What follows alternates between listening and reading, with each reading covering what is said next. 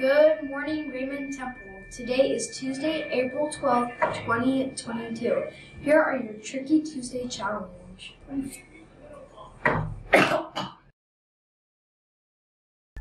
Riddle number two A Walk in the Woods. How far can a bear walk into the woods? I'll give you 20 seconds to think.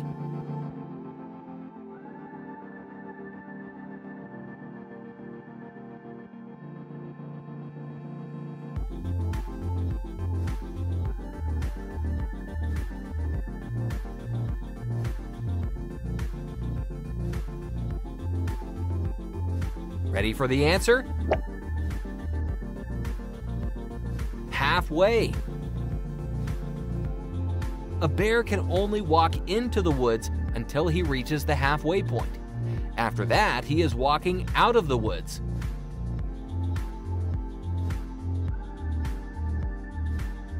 Did you get it?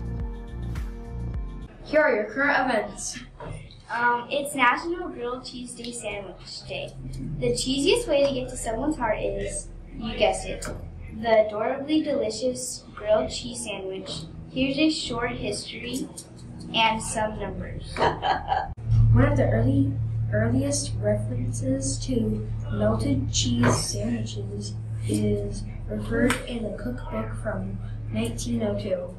A guy named Otto designed a bread slicing machine in 1927. The 1993 movie Benny and Joon mm-hmm. featured featuring Johnny Depp as a character Sam who prepared a stack of grilled cheese sandwiches using a clothes iron. It's a movie, so don't try and do this at home. In 2006, Joey Chestnut set a world record by devouring 46 grilled cheese sandwiches in 10 minutes. 10 minutes. Wow. That's like as fast as my sister eats. Yeah. Here's a cheesy graph showing the grilled cheese popularity.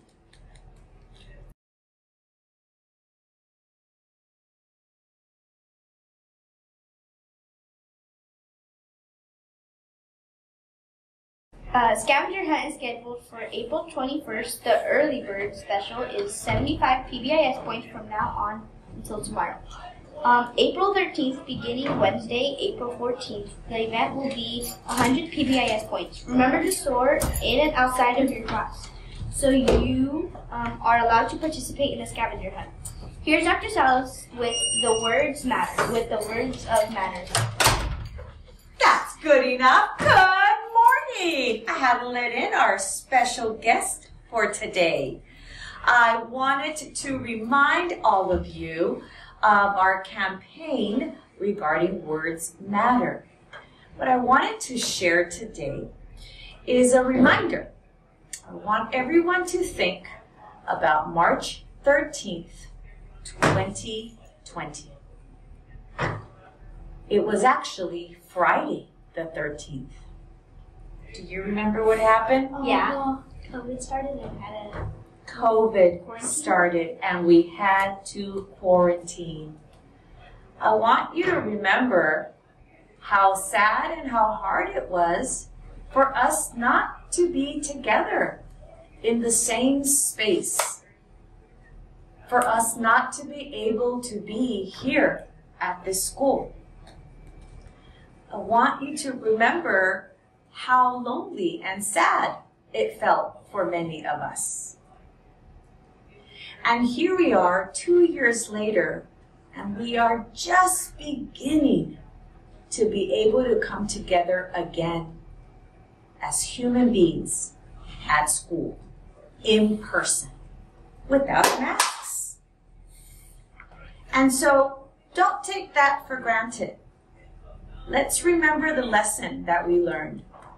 How much we need each other. How important it is for us to be able to interact and talk and smile. Don't forget that.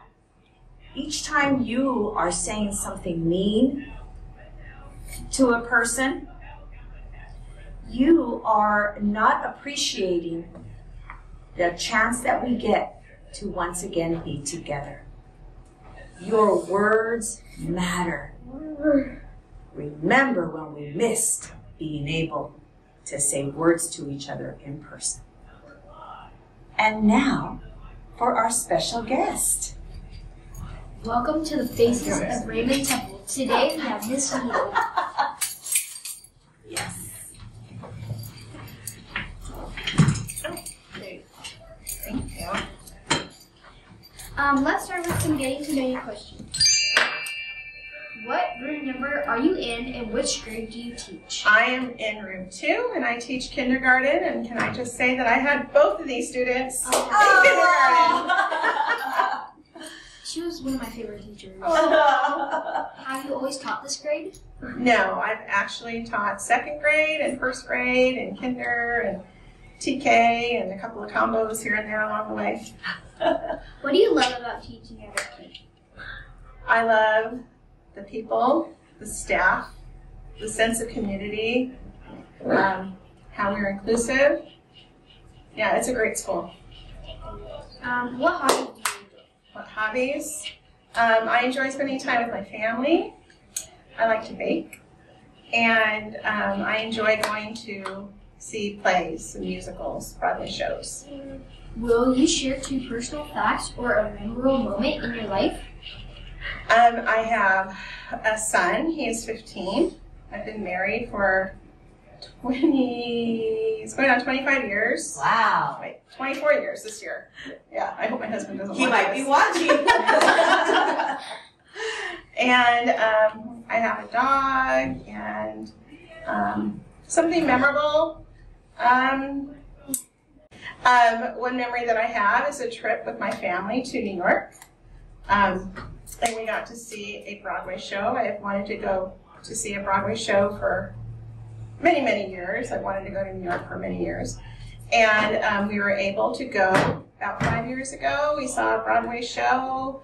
Um, and we had third row seats. It was amazing. I saw a two-time Tony winner. It was great. Um, before we conclude, is there anything you'd like to say to your class? Uh, just that I love them, and I want them to know that they can do anything that they set their mind to. Just need to work hard, and I know the year is coming to a close. I will miss each and every one of you, and just come say hi whenever you see me. Um, but you will always be a part of of me. You left like there's a being of Broadway. There's a song that says "Leaving a handprint on your heart." That's how I feel. Each child leaves a handprint on my heart.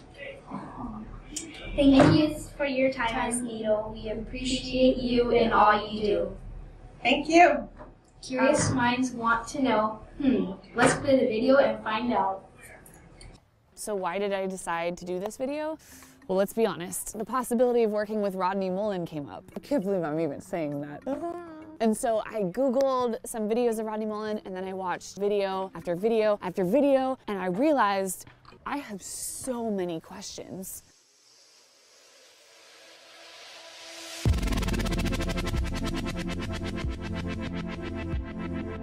How does he do that?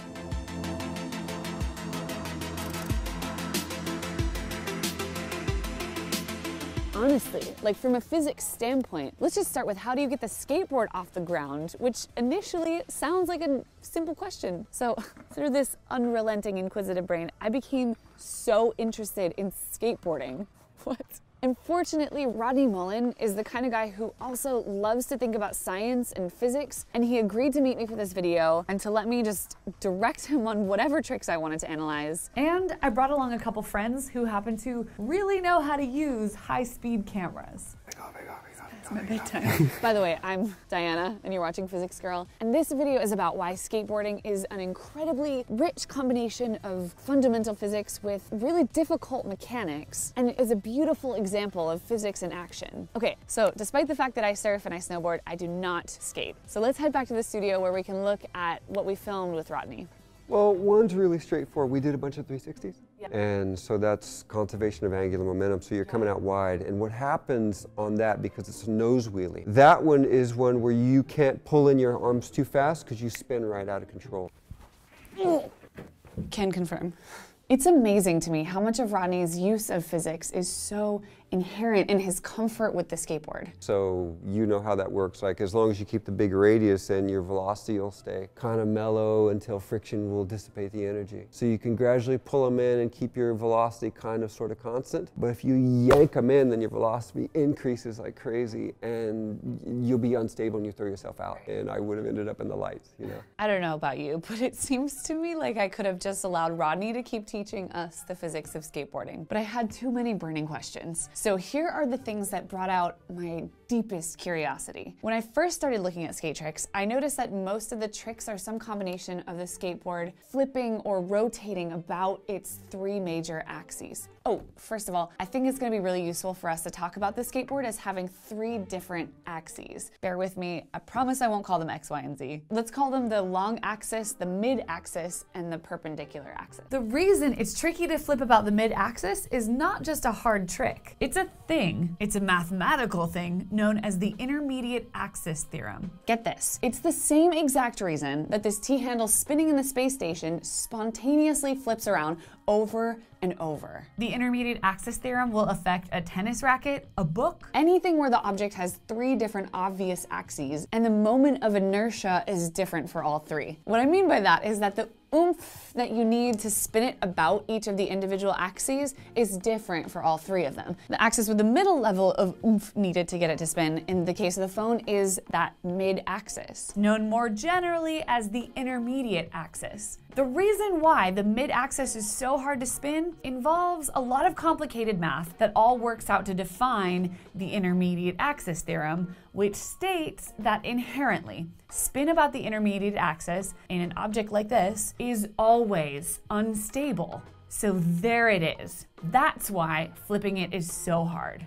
I asked if there was a trick where the skateboard spins about the intermediate axis, and I was told that there was, and it's called the impossible. Watch Rodney's Nollie Impossible. His foot actually guides the board to make sure that it keeps spinning about just that axis. when I was asking him, like, is there a trick like that? And he was like, ah. yeah, there is. But you follow it with your, with your foot. And I was like, interesting. And if he lets it go, well, physics says that it will probably become unstable. In fact, he did another trick where it starts out spinning like an impossible, but look what happens as soon as he lets it go. Almost immediately, it started spinning with much more complicated motion because it became unstable. Because to me, this one without the foot seems like it would be impossible because of the intermediate axis there. The reason that skateboarders have to keep their foot on the board to guide an impossible is partially to overcome the intermediate axis theorem. It's the same reason that the teething in space starts spontaneously flipping. That connection is so cool to me. The tricks and the physics that Rodney likes to talk about are super advanced, but I'm still over here like, how do you even get the board off the ground? So that's the last question that I've got here. Rodney alluded a little bit to being able to kind of drag the board up with your foot, but that's once the board is already in the air. Skateboards aren't pogo sticks. What I mean by that is they don't have springs in them. Trust me, I asked the experts during my deepest moments of ignorance. But the board is every seesaw you've ever ridden. It's got lever action all over the place. Look closely for clues at how Rodney gets off the ground. It's there. His foot is pushing down on the board past the wheel, which seesaws the other side up. Then it hits the ground hard and that pushes the board up in the air. Consequently, the earth was pushed down because of Newton's third law of equal forces, but the earth forgave Rodney for that. It's just beautiful physics. And then the art comes in, you know, controlling the board. For lunch today, we're having chicken tamales with green sauce. Unfortunately, no grilled cheese. Ah! While we're on the subject of lunch, uh, there will be no flipping of any drink items, cartons, and food. This includes milk, orange juice, water bottles, and so on. Please be responsible and keep your lunch area clean. Pick up and throw away any trash. Um, stay tuned for your sign words after the pledge. Remember to soar every day, everywhere, with everyone. That's it from your Temple Student Council. Bye. Bye.